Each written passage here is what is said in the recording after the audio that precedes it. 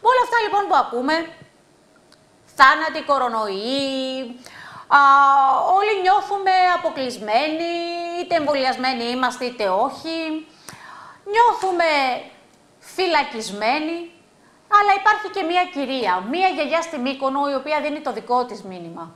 Κάνει ένα κορονοπάρτι για πάρτι της, βγαίνει στο μπαλκόνι της, χορεύει και δεν ακούει τίποτα και κανέναν. Για να δούμε να απολαύσουμε λοιπόν αυτή τη γυναίκα, αυτή τη γυναίκα που μας δίνει ένα αισιόδοξο μήνυμα ότι ό,τι και αν συμβαίνει γύρω μας εμείς πρέπει να είμαστε καλά.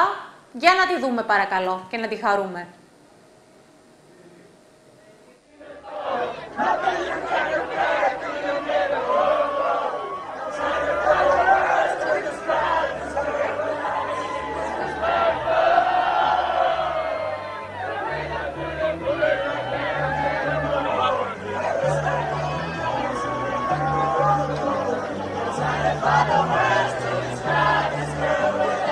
Justice is